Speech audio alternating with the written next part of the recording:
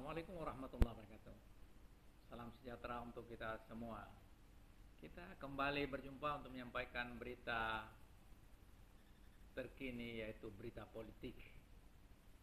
Beberapa hari lalu di Gedung Juang 45 Aliansi Nasional untuk Indonesia Sejahtera atau mereka singkat ANIS telah mendeklarasikan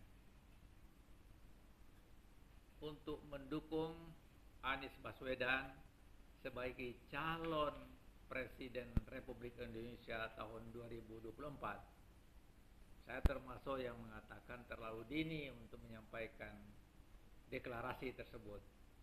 Tetapi dalam demokrasi itu sah saja dilakukan paling tidak untuk melihat bagaimana reaksi publik terhadap sosok calon yang dideklarasikan. Tapi sebenarnya bukan hanya relawan Aliansi Nasional Indonesia Sejahtera yang mendeklarasikan Anies untuk menjadi calon presiden, tapi juga relawannya Ganjar sudah uh, melakukan deklarasi dan mereka sudah membentuk eh, relawan-relawan uh, di berbagai daerah. Sekali lagi ini sah saja di dalam negara demokrasi. Bahkan kalau kita lihat juga Puan sudah membuat baliho-baliho di berbagai tempat juga sah. Begitu pula Erlangga sudah melakukan seperti itu. Di berbagai sudut jalan ada baliho besar yang dipasang.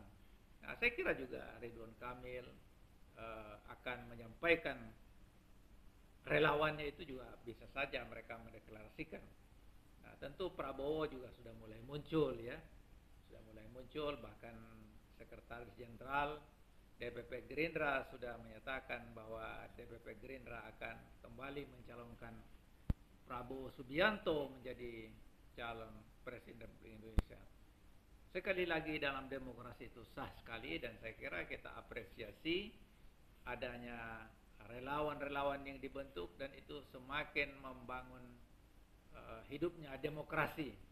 Tetapi yang sangat penting kita sampaikan di sini janganlah saling menjelekkan.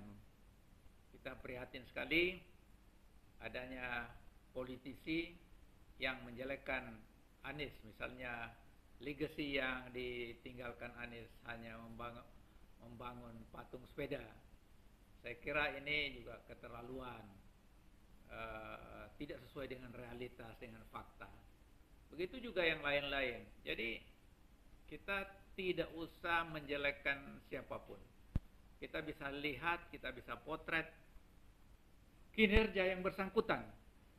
Apakah yang bersangkutan ini kinerjanya bagus, kemudian mempunyai wawasan yang jauh ke depan, lantas bisa memperbaiki Indonesia yang dalam tanda kutip kita bisa mengatakan karut marut utang kita sudah menggunung luar biasa, BUMN didera utang yang luar biasa, kemudian tingkat kesejahteraan rakyat tidak meningkat, tetapi pada saat yang sama meningkat penghasilan kelas menengah ke atas. Mereka yang berkuasa dan pengusaha besar itu makin kaya raya. Sementara rakyat jelata itu semakin terpuruk.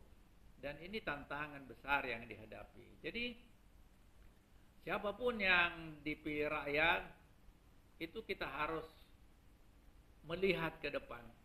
Bagaimana menyelamatkan negara ini? Bagaimana membangun negara ini menjadi negara yang besar? Kita termasuk negara yang besar karena penduduknya besar tetapi secara ekonomi itu kita masih lemah. Ya memang kita masuk di G20 eh, itu satu kebanggaan tersendiri, tapi sebenarnya itu hanya kelompok kecil yang mengakumulasi kekayaan mereka tetapi tidak merata. Terjadi kesenjangan yang luar biasa. Yang kaya semakin kaya, yang miskin itu semakin miskin. Ini realitas yang kita hadapi. Keadaan ini semakin parah, semakin menyedihkan ketika kita dilanda COVID. COVID ini telah menghancurkan kelas menengah ke bawah yang begitu masif. Terjadi PHK di mana-mana, kemudian usaha kecil menengah itu bangkrut. Tapi sekali lagi yang survive dan hebat maju itu adalah mereka yang menjadi pengusaha besar dan juga mereka yang menjadi penguasa. Dan ini hasil survei yang sudah banyak di, disebarluaskan. Saudara-saudaraku yang saya hormati dan banggakan, saya minta untuk bisa like video ini dan subscribe channel ini. Saya ingin melanjutkan apa yang seharusnya dilakukan? Yang seharusnya dilakukan adalah setiap calon pemimpin itu harus bisa menunjukkan rekam jejaknya. Yang menilai itu adalah rakyat pada umumnya. Bukan orang-orang yang benci terhadap seseorang calon kemudian dia menyebarluaskan uh, ke publik bahwa yang bersangkutan itu tidak ada kinerjanya. Tetapi Masyarakatlah yang menilai apakah seseorang pemimpin itu mempunyai kinerja yang baik dan tidak hanya kinerja tetapi juga bisa menyelesaikan berbagai persoalan yang sangat besar dan yang lebih penting lagi bisa mewujudkan keadilan sosial. Jadi yang kecil ini didongkrak, didorong untuk maju sementara yang besar ini tetap dibiarkan besar karena mereka pasti memberi andil yang juga besar untuk membayar pajak, untuk mempercepat pertumbuhan dan perkembangan ekonomi. Yang kecil dibesarkan, yang besar tidak dikecilkan. Kira-kira kayak begitulah yang harus kita dorong ya, ke depan. Kemudian, apa yang seharusnya dilakukan? Selain mencari sosok pemimpin yang bisa menyelamatkan Indonesia, bisa membawa Indonesia maju seperti orang lain, atau negara lain yang lebih penting lagi bagaimana membangun hubungan yang sangat baik antara satu negara dengan negara lain. Kita apresiasi baru saja dilakukan uh, tes and proper test di DPR tentang 33 calon duta besar RI di luar negeri. Tentu ini kita apresiasi, tetapi yang lebih penting itu bagaimana membangun hubungan G to G, government to government itu semakin baik, tapi tidak hanya itu, tapi juga people to people. Jadi hubungan antara masyarakat dengan masyarakat itu semakin diperbaiki, semakin dibangun. Selain itu juga G G to people, artinya itu hubungan pemerintah negara lain dengan rakyat.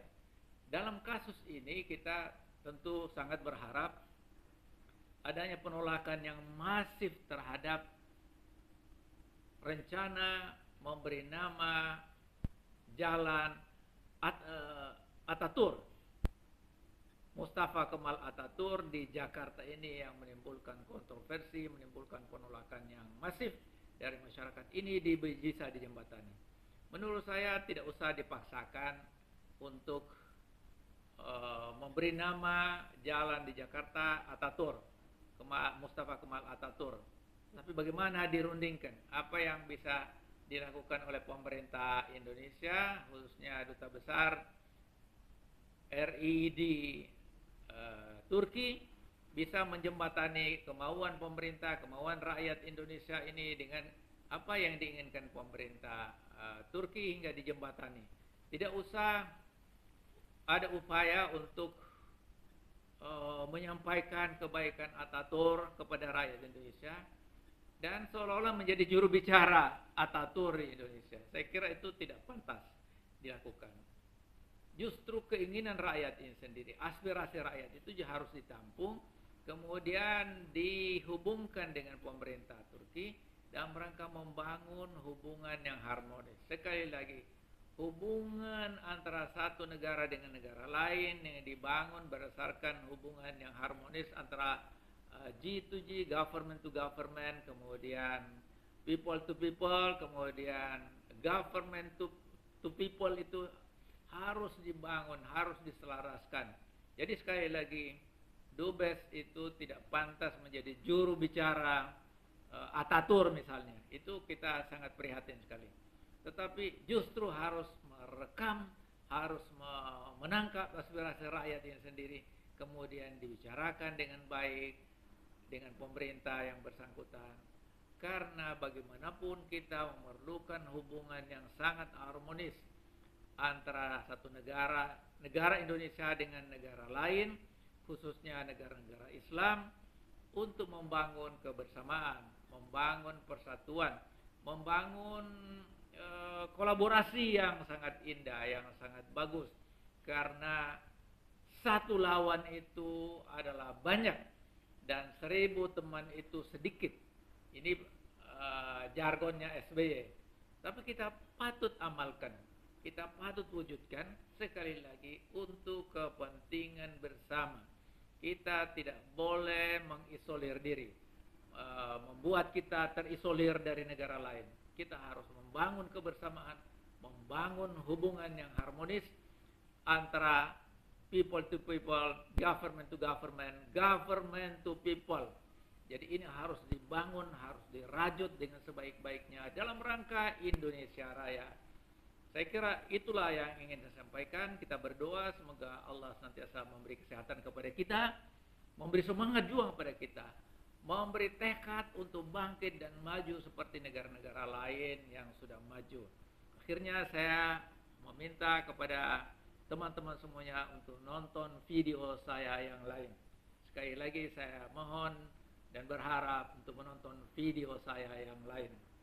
Terima kasih atas perhatiannya. Wassalamualaikum warahmatullahi wabarakatuh.